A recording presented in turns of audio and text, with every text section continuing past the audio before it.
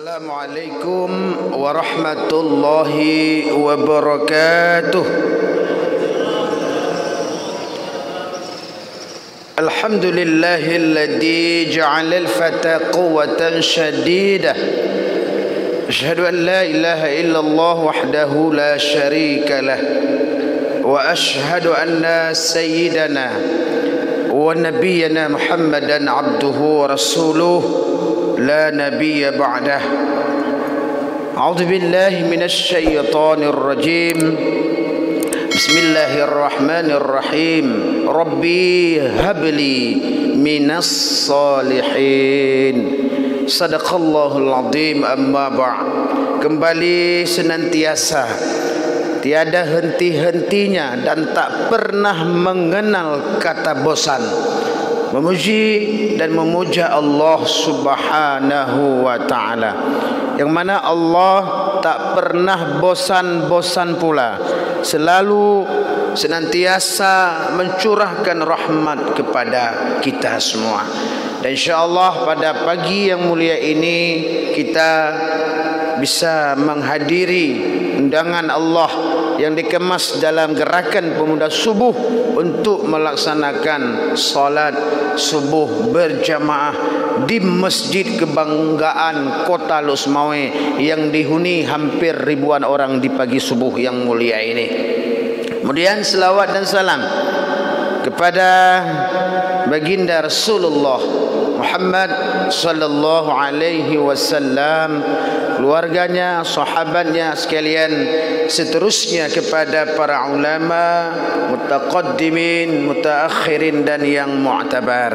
Yang mulia imam besar Masjid Agung Islamic Center ini dan kepada para guru-guru kami istimewa kepada para pengurus gerakan pemuda subuh juga kepada seluruh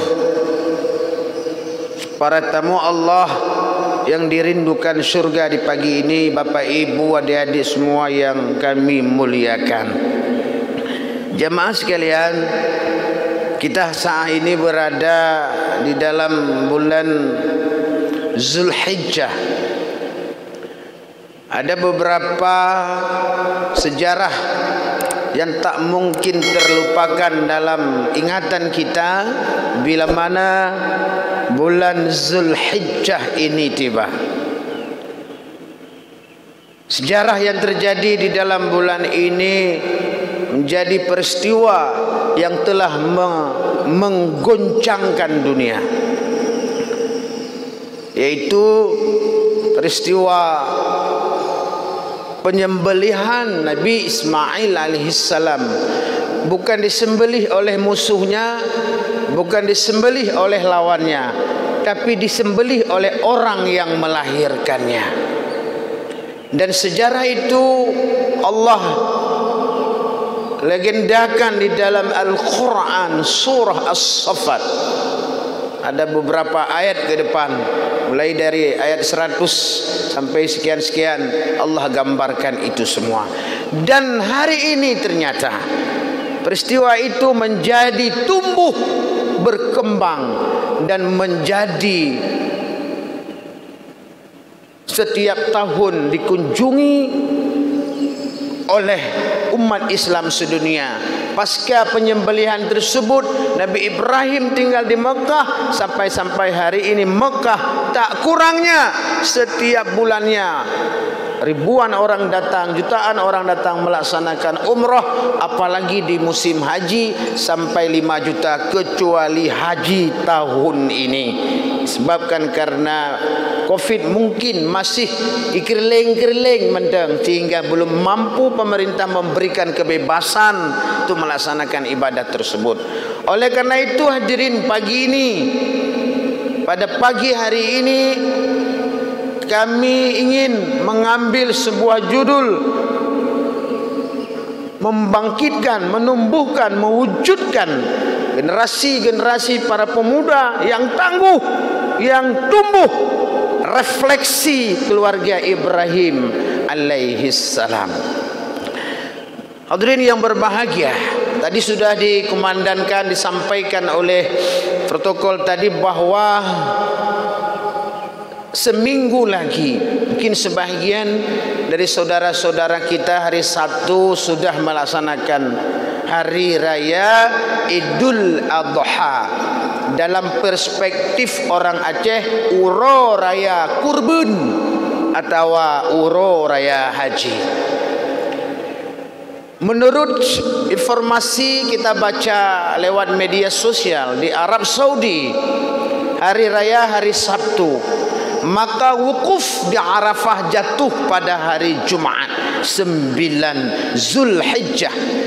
Maka Arafah hari Jumaat adalah harapan para jamaah haji. Karena kalau Arafah pada hari itu Allah lipat gandakan pahala haji berlipat-lipat ganda. Maka hari Jumaat ini merupakan Arafah dan Haji tahun 2022 pasca pandemi dua tahun 20 21 kita enggak berangkat dua-dua Allah sambut dengan haji akbar. Alhamdulillah. Doa kita kepada mereka Allahumma ja'alhum hajjal mabrura wa sa'yan mashkura wa amalan maqbula wa tijaratan lan tabura. Birahmatika ya arhamar rahimin. Hadirin yang berbahagia bagi kita yang masih di sini mari kita cari haji-haji akbar lewat masjid-masjid yang ada di dekat kita.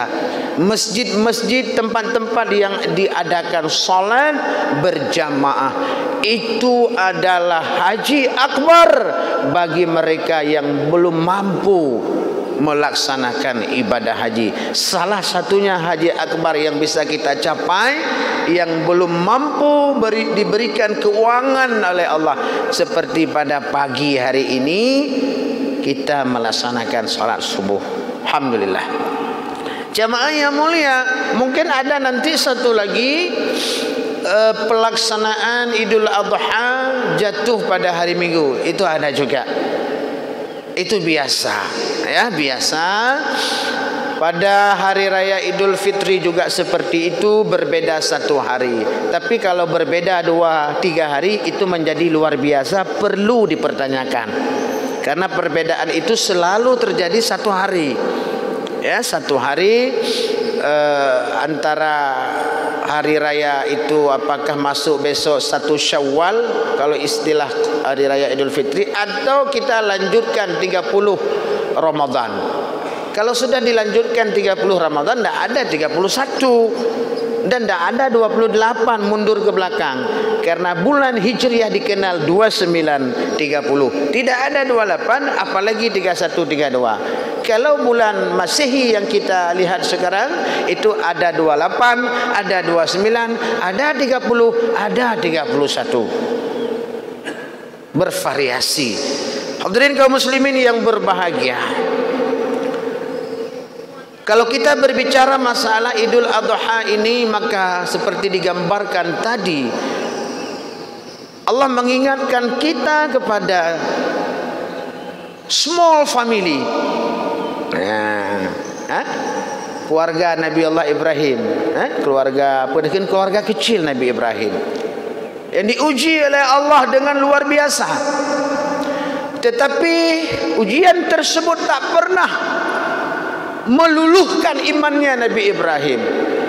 Iman Nabi Ibrahim semakin kokoh. Ujian tersebut tidak melunturkan imannya Nabi Ismail yang masih kecil balia. Ujian tersebut tidak membuat ibunda tercintanya Siti Hajar minta talak dengan suaminya. Malah mereka membuktikan ketangguhan imannya. Maka sejarah mencatat ada dua peristiwa besar yang diuji oleh Allah imannya luar biasa. Bahkan tiga pertama sejarah Siti Masyitoh Kita ingat seorang wanita yang melahirkan anak-anaknya lalu anaknya satu persatu dilemparkan ke dalam air panas mendidih di depan matanya dipersaksikan di depan matanya tapi anak itu bisa selamat. Bila mana ia mengatakan Tuhannya itu Firaun dan menafikan Tuhan Allah maka dia rela anaknya dibakar anaknya direbus anaknya dicincang kalau istilah sekarang. Tapi iman saya tidak boleh saya korbankan. Begitu ketangguhan iman seorang wanita. Luar biasa. Kemudian lagi kita melihat ini peristiwa-peristiwa besar. Bagaimana Allah menghidupkan 309 tahun tujuh orang pemuda yang dalam sejarah dikatakan satu dengan anjing. Kenapa? Dikarenakan mereka hidup di zaman penguasa-penguasa memaksakan menyembah tagut menyembah berhala menyembah pangkat. Itu tagut juga menyembah jabatan bahagian dari tagut menurut tafsir al-maghari seperti itu. Tagut itu dulu tagut itu berhala. Tagut tapi hari ini tagut-tagut itu ada di dalam diri kita. Ada orang yang mengobarkan imannya demi jabatannya. Itu tagut tapi pemuda itu tidak mau. Hingga lari berdiri di depan di berdiri di bawah pohon kayu. Lari dia. Orang tuanya menyembah. Semua nenek-neneknya menyembah. Dia enggak mau. Allah yang patut disembah adalah Allah. Maka ternyata bak duduk you bak kainyan ada beberapa orang. Mereka tidak saling kenal. Bukan kawan. Bukan the best friend. Bukan. Enggak kenal pun akhirnya tanya punya tanya kamu siapa? Kenapa kamu lari? Enggak mau saya. Mereka memaksa kita menyembah berhala enggak mau. Lebih baik saya mati. Ternyata informasi itu cepat tercium oleh badan intelijen daripada kafir waktu itu. Ada tujuh pemuda di sana yang mereka enggak mau menyembah. Dipanggil mereka. Malah di depan raja dia mengatakan, kami tidak mau menyembah Tuhan yang engkau sembah. Tuhan yang patut disembah Allah. Maka dikejar mereka oleh bala tentara kafir waktu itu dan bila dapat itu dibunuh, ditek-tek, dicincang, mereka lari-lari dan lari sampailah ke dalam gua. Maka peristiwa pemuda itu hari ini Allah jadikan sebuah surah dalam Al-Quran Kahfi. الحمد لله الذي أنزل على عبده الكتاب ولم يجعل له عوجا. قيما لينذر بأسا شديدا من لدنه ويبشر المؤمنين ويبشر المؤمنين الذين يعملون الصالحات أن لهم أجرا حسنا. تبلوه بآيات بجي أفاي وتمتين يوم مغاه دبيت hanjit bawai bagi Miyajid Bandung lebih hebat. Mam kita baca Rio sampai habis takut tinggal bengok payah piyo. Ini nunggu Jamal. Allah gambarkan dalam Al-Quran 309 tahun hidup dalam gua.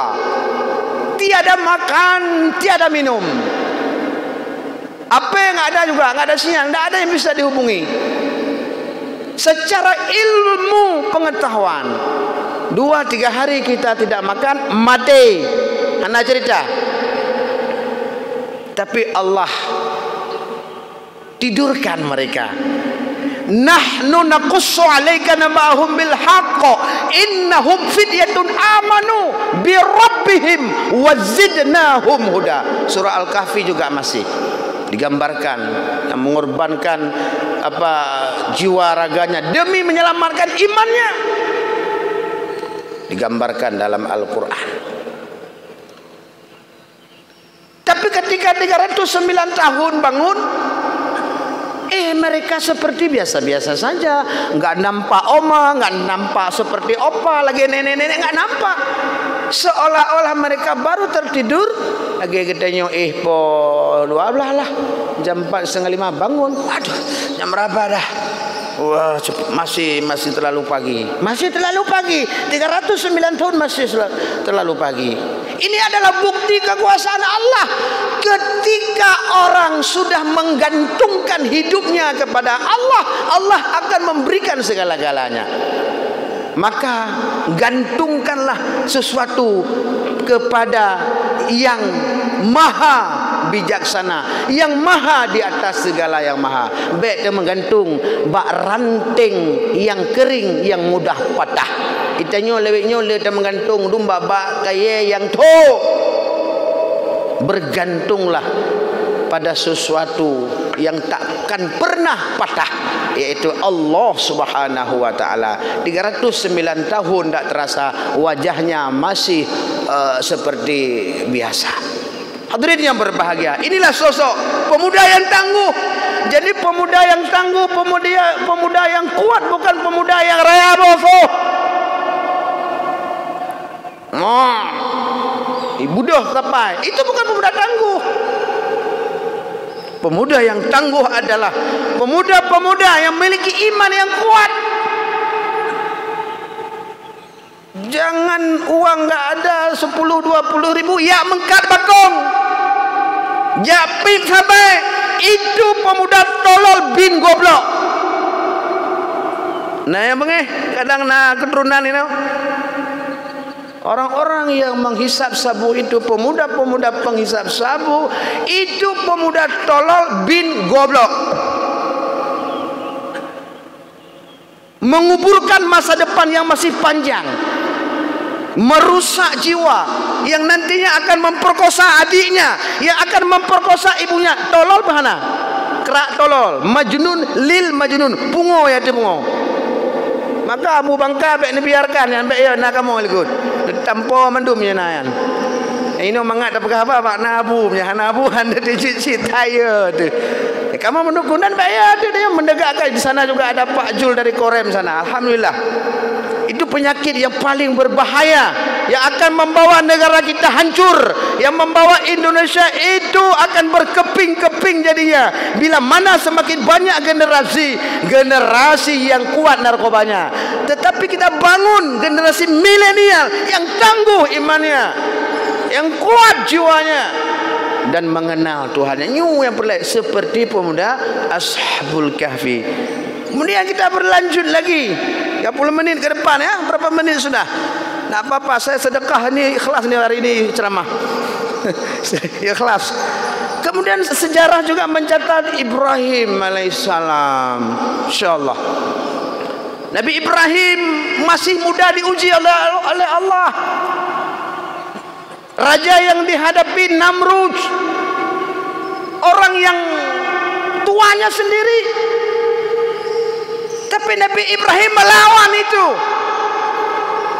Sampai-sampai dalam sejarah diceritakan Nabi Ibrahim mengambil kapak dihancurkan Tuhan-Tuhan penyembahan mereka. Pada akhirnya decision maker diputuskan Ibrahim dibakar. Dalam apui eh. Takutkah Ibrahim? Tidak. Adakah dia menjual imannya? Tidak maka dibakar dalam api. Allah berfirman ya naru kuni bardan wassalaman ala ibrahim. Hai apui kah tutung tapi tutung kahnya tak lo bak kudrah dan iradah long muye longkun leka lelon tutung tutung muye longkun ure lepi lepi pelepi. Peselamat Nabi Ibrahim. Kaya jid karang Nabi Ibrahim geduk sang-sang lebih bak bener meriah dia ojak oranyan Pak Amin. Lepi muka kot nggak ada apa-apa secara ilmu tauhid begitu. Lat batat kaya batai bandum tidak akan bisa berbuat apa-apa. Karena semua itu makhluk li ghairillah takluk kepada kudrah irada Allah. Kehendak Allah. Tanpa ada kehendak Allah tak bisa terjadi sebuah kerajaan sekecil apapun kecuali dengan izin Allah. Maka Allah memerintahkan kepada api. Api tidak panas. Secara ilmu kausalitas api panas dibakar terbakar kan begitu. Makan kenyang tajib racun mati Tagrab lapui tutung Ibrahim jangankan tubuhnya sehelai bulu bulu pun bule jara pun hana tutung selamat. Itu pemuda waktu itu tangguh sekali. Dan beliau sampai kawin mendapat seorang anak imannya pun melebihi imannya Nabi Ismail Nabi Ibrahim luar biasa merumpah berumah ternyata seorang gadis seorang wanita yang imannya tangguh. Itanya merumpah lako lako dungku pas merumpah berumah yang keinan dawa tapi tak nejak bak kuaket bocor dia tayu semayang yujak ni oleh. Cukup jerat atau nak merumpah lak nak ada ada istri istri taat Jumpa suami, suami lagi hidup apa? Meramah. Tapi seorang keluarga Nabi Ibrahim. Lihat ketika dia hamil beliau letakkan seorang wanita hamil di tengah gunung. Di tengah gele nekun le promo hai abang hai. Anan sayang negelon Lun tirau rindang yang lemah. Dengar mu mai bang. Mu plutun kanan. Ura malam sampai nak berdoa habli min ha, Rabbi habli min as-salihin. Yo baru nani ati lu dengar dengar gele. Hai promolong. Yang you ati rau dekat Allah. Ha? Allah. Allah mami ya Allah you bapu ya debat susah. Allah yang jaga. Oh, minta semangat. Ya Allah, perintah siap. Dengar gele deh. Allah yang jaga. Begitu iman kuat, tak takut. Kemudian ketika beliau berada di sana,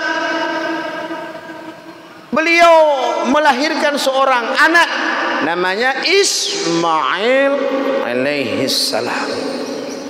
Ubud Nabi Ismail diperintahkan Allah untuk disembelih itu lanjutan ayat tadi melumpau lumpau nabi wahyu.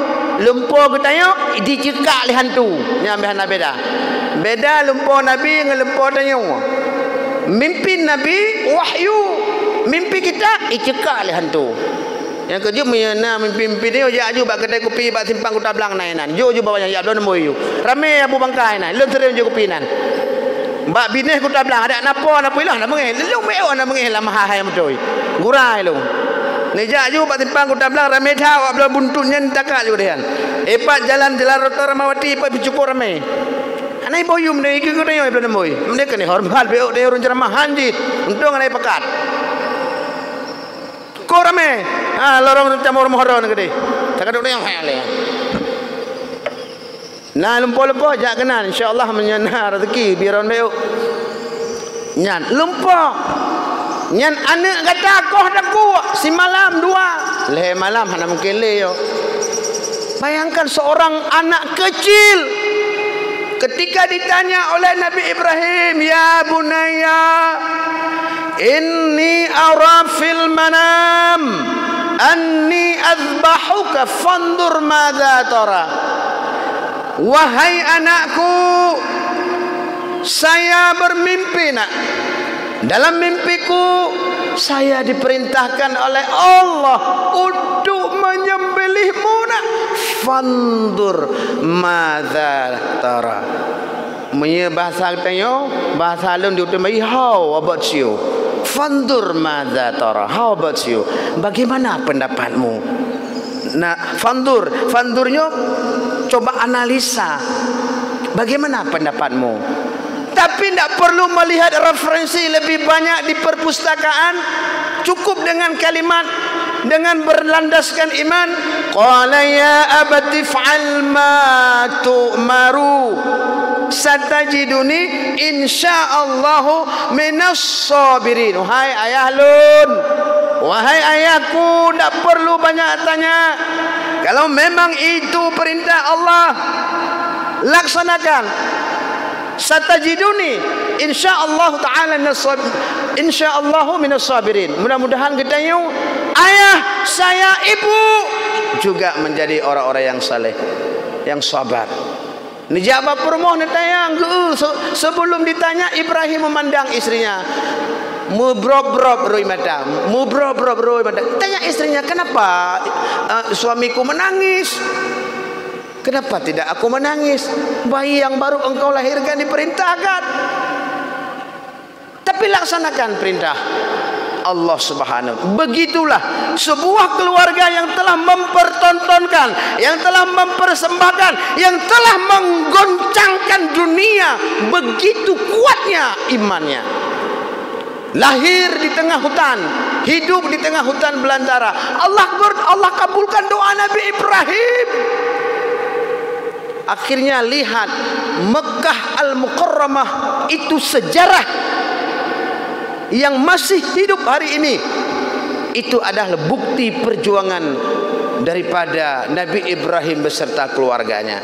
Ketika kita melaksanakan uh, uh, sa'i kalau di lantai bawah itu ada sa'i yang sudah sudah ada gunung kecil sudah dibalut dengan kaca nyanhinan safa marwah kenapa tidak ayat nyanhinan Siti Hajar geplung-plung Hari ini satu orang dulu lari. Hari ini setiap tahun lima juta orang Allah larikan di tempat itu. Dulu satu hari Allah Rabbi gfir warham wa'afu wa takaram. Satu orang dulu. Tetapi Allah hari ini mempertontonkan, mempersaksikan lima juta orang hari ini. Ya, bahkan lebih untuk lari mengenang sejarah seorang wanita yang tangguh bagaimana kuat imannya, bagaimana mendidik anaknya menjadi anak-anak yang sebaik saleh. Itulah Siti Hajar. Dan bukti hari ini kena pelemah bak ketanya ragam bahawa wanita punya peran penting dalam uh, dunia Islam. Kang tengok agama dia. Urinang punya peran, maka dilegendakan hal tersebut. Belum lagi kita ketika kita melakukan uh, lontar jamarah ya aqabah wusta ula aqabah ya itu juga sejarah apa yang pernah dilakukan oleh Ibrahim? Apa yang pernah dilakukan oleh Ismail? Apa yang pernah dilakukan dulu oleh Siti Hajar? Hari ini semua perlakuan mereka menjadi sesuatu yang bermakna bahkan menjadi rukun haji dan menjadi wajib haji bagi umat Islam yang melaksanakan walillahi 'alan nasi hajjul baiti man istata'a ilaihi sabila. Mandum pubud aranyan Masya Allah. Inilah jamaah yang berbahagia. Maka memasuki momentum Hari Raya Idul Adha yang tidak lama lagi. Mari kita kembali ulang kaji Bagaimana sejarah perjalanan hidup pemuda Sebuah rumah tangga yang tangguh imannya Dan tumbuh karyanya. Imannya kuat Karyanya hari ini tumbuh Hari ini moto Indonesia Indonesia tangguh, Indonesia tumbuh. Ibrahim telah mempertontonkan hari ini. Begitu tumbuh karyanya, jutaan orang mengunjungi hasil karyanya.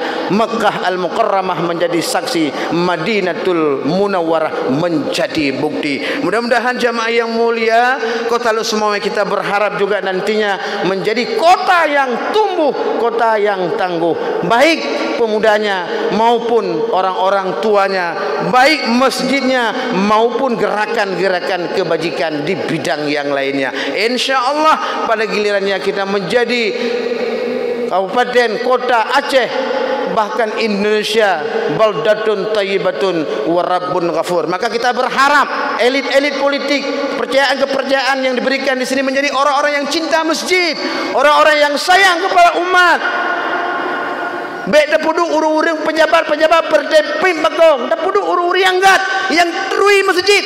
Alhamdulillah hari ini hadir Abu Bangka Kapol Syed Bandar Sakti 20 puji masjid ngelung tak lolong lagi mah yakin kenyan sama yang subuh ngelung ngelung mah tu hana luar biasa. Kita doakan warotu bila-bila AKBP beje kapore insyaallah. Amin.